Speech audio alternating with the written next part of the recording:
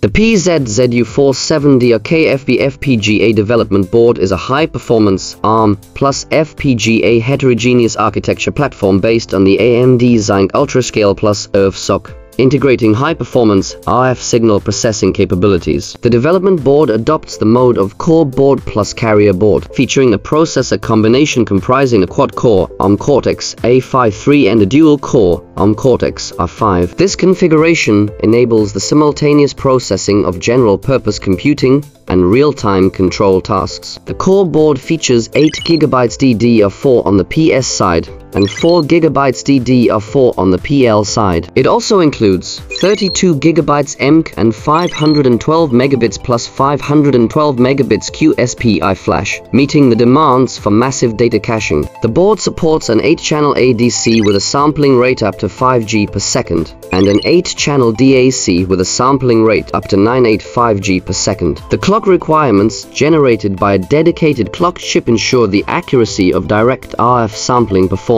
The development board is equipped with a wealth of peripheral interfaces, including one 40-pin expansion port, which are used to expand the signal connection. It provides software configurable GPIO for driving peripherals such as LEDs and buttons, two pairs of differential input clock interfaces, and one sync interface for multi-board phase synchronization, one CAN RS485 industrial-grade communication port, 100 gigabit QSFP28, 10 gigabit QSFP, 1 gigabit Ethernet port, 1 mini DP output, 1 USB 3.0 port, 1 SD card slot, 1 USB to JTAG UART debug interface. There are two ways to supply power to the FPGA development board.